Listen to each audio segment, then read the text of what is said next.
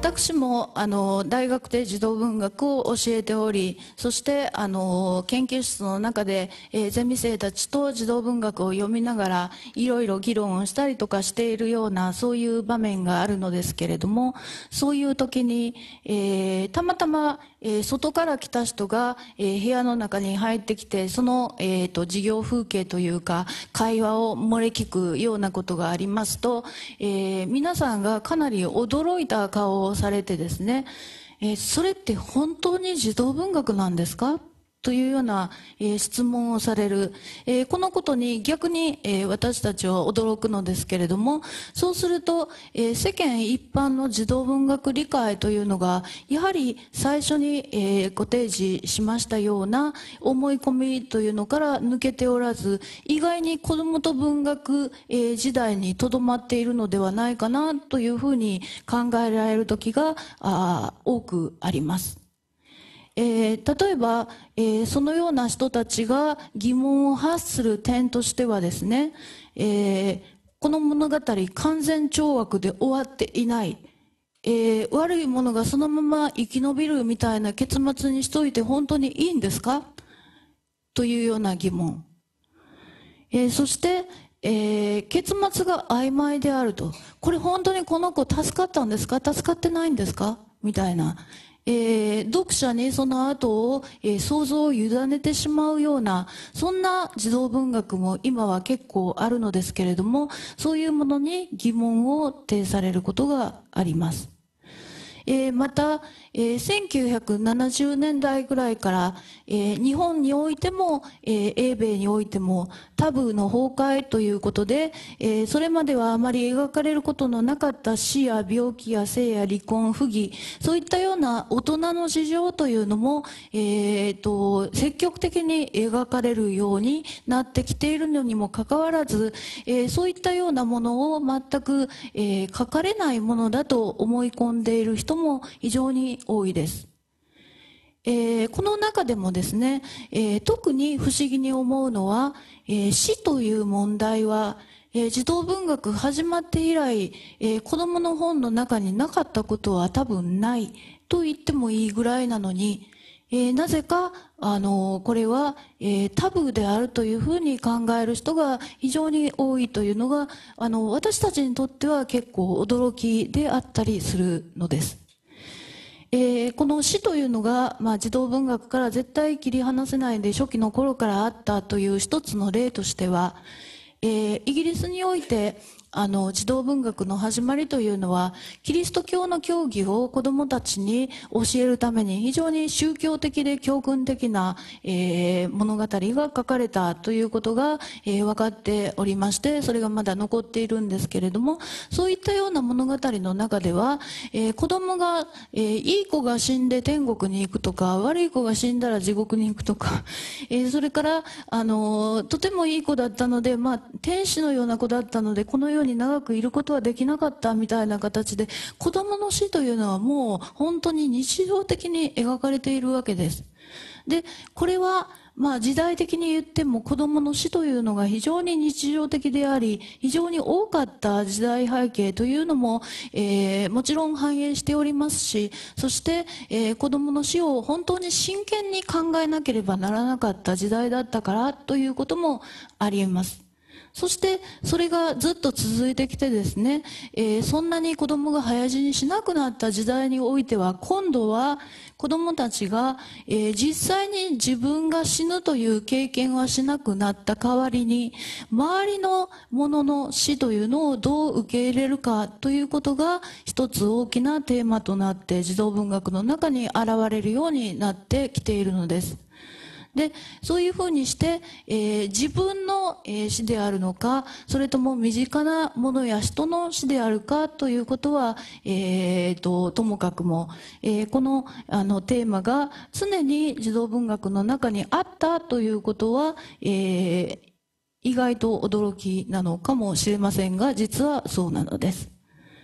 えー、そして、えーとまあ、児童文学というと大体子供が主人公であるということが、えー、当たり前のように思われたりしますが実はえー、おばあさんが主人公であるとか、まあ、中年のおばさんが主人公であるとか、えー、そういったような例もいくつも見つかります。で、えーと、自分と同じ年ぐらいの子供が、えー、出てこなければ子供が共感できないというのは実は嘘だと私は考えています。えー、読書というのは共感でやるばかりではなく、えー、まるで映画を見ているかのように第三者として、えー、遠くの方から面白い物語を眺めるという読み方もあるので、えーと、共感する人物というのが必ずしもなくても構わないと、いうふうに私は考えております。えーと、ちょっと脱線しますけれども全く共感できる人物ができないのにとても面白くて大好きな小説というのが私にはありましてそれは嵐が丘だったり、えー、風と共に去りぬだったりするんですけれどもあの中には全く自分と同じような心持ちの人は出てこないしどの人もあんまり好きにはなれないのですが、えー、でもものすごく面白いです物語は。といったような読み方もありますよね。で、これは子供でも多分そうなんだろうと思います。で、えー、子供は子供だけの社会で生きているわけではありませんので、えー、その周りの大人の社会や大人の事情が描かれるというのも当然のこととなってきています。えー、こういった大人の社会や事情というのが子供の性や、えーと、生活に大きな影響を及ぼすということも、えーと、大きな子供にとっては経験でありますし事件であります。えー、ということ、えー、それから先ほども言いましたように時代によって変わるイデオロギーが現れているというのもはっきりとこれはわかることです。えー、これはもうあの後で少し実例をあの、えー、出しながら、えーとお話ししていきたいと思います。で、えーとまあ、不健康な空想が描かれているとか、まあ、弱肉強食の世界も描かれているといったようなことが、えー、実際本を読んでいると現れてくるわけで、えー、一般に思われているように子供に向かって語られた物語に不純なものはないはずだというのは、えー、思い込みであり政治や経済思想とは無関係であるというのもまた思い込みであるということが、えー、言えるるのだと思います。えー、で、あの、この、まあ、あの、私の、あの、経験から、あの、少し実例をお話ししますと、例えば、私、あの、名古屋にいた頃に、えっ、ー、と、小中学校の、あの、図書館に入れる本を選定する委員会に、えー、参加していたことがあったんですが、その時に、岩波少年文庫の、えー、ゲーテの書いた、狐の来熱家という、あの、本がありました。えー、少年文庫ですから、子供が読めるように上田真理子さんが訳してしていた本なんですが、私はその本を読んで非常に面白いと思ったんですね。えー、狐の来熱系というずるい狐が、えー、様々なあの手練手管をあの使っては人間を騙し悪さをしては逃げ延びていくという痛快な物語だったわけですが、えー、これがあの選定から漏れてしまったんですね。で私これはぜひ入れてほしいと思ったんですけれどもその時に反対された理由というのがこの悪さをする狐が最後報いを受けないで逃げているのが不道徳だという理由だったんですね。で、えー、これはあの悪いことがそのまま、えー、生き延びびて罰されないで済むというようなことを子供に、え、教え込んでしまうのではないかというそういう懸念が中学校の先生から発せられ私はちょっとフリーズしてしまったんですけれどもあの、この話の面白さ、えー、それから、えー、小さいものでも、え、ー、と、この騙しの手口を使って逃げ延びることができるこの痛快さ、え、そしてこのアウトローの物語の面白さというのも子供の本にあって叱るべきではないかと思うんですが、そしてこれを、狐の来熱記を読んだ子供が悪いことをしても逃げ延びたら OK と思うかどうかというのは、その本の影響力をあまりにも過大評価しているのではないかと、えー、思ったりするわけです。で、えー、そこでもしその影響ということを心配するのであれば、そこに必ずいる大人の協読者というのが、えー、出番だと思うんですね。で、あの、例えば、その、こんな悪いことして逃げても OK なんだと思いそうな子供がいれば、そこのところで一言、まあ、添えてあげる。それが大人の役割なのではないかと。えーと、であのその面白さはどういう面白さなのかということをちょっと説明してあげるそれだけでも、えー、大きな違いになるのではないかと私は考えるわけです。けです。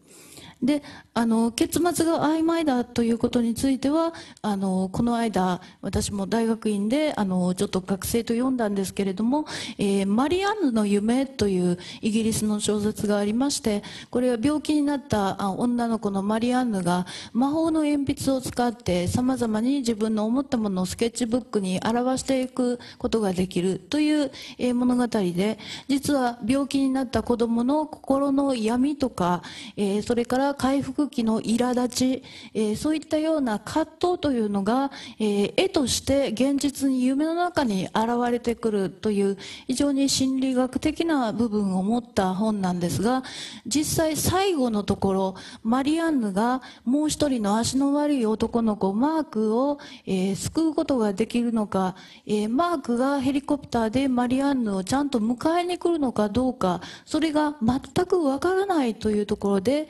マリアンヌはマークを待っているというところでプツンと終わってしまうんですね。で、えー、これはその後いろんなことを想像させるというそういうものもありますし、えー、そしてこういう、えー、結末はいまいち好きじゃないと思った子供は、えその先の面白いところで読みやめていてもいいわけですしその本の読み方というのはやはり個人差というか人それぞれなんだというふうに、えー、考えられるわけです。で、たとえ子供たちにはわからないことが書かれていても、えー、子供たちは、えー、自分のわかるところを抽出して、えー、自分なりに好きなところだけを取って、えー、食べてしまう、えー、というようなことが大変得意、えー、だと思いますのでそれをこちらで規定してしまうということはあまり、えー、必要がないのではないか、えー、というふうに考えるわけです。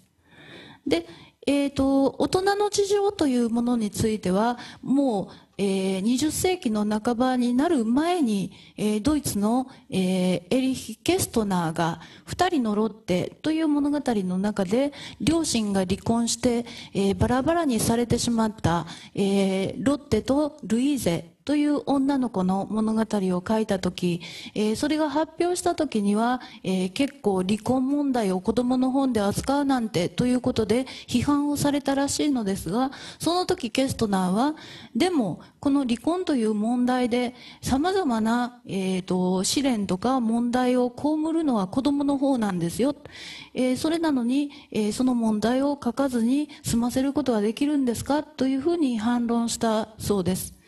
えー、として、えー、2人のロッテというのはあの実は結末はそのルイーゼとロッテの働きによってお父さんとお母さんはよりを戻すという、えー、結末を持ってはいますけれども、えー、今、えー、親の離婚というところから始まる物語は大変多くて、えー、その事情のおかげで、えー、子供たちは、えー、新しいお父さんお母さんがまたできてしまったり、えー、お姉さんやお兄さんまでできてしまったりというような大きな、えーと、事情の変化というのを、えー、経験しているわけですので、えー、そういったようなあのものも、えーと、確かに子どもの世界の中に入ってくるということがあの確かだと思います。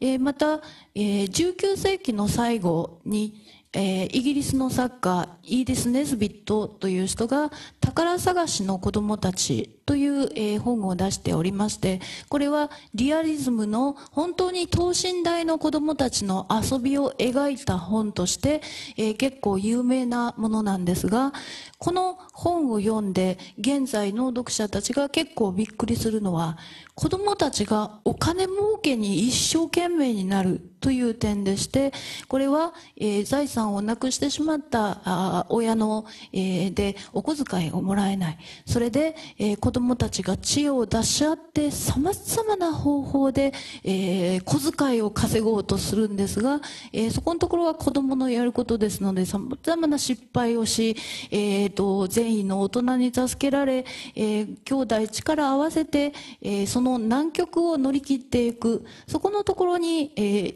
読み応えというのが感じられる本なんですけれどもこういうものを読んでも子供が経済活動とは関係ないということは全くなく、えー、子供たちもまたお金を儲けるということには大変こう興味を持っており、えー、それが、え、書かれて当然のものであるということが、えーと、証明できるかなというふうに考えます。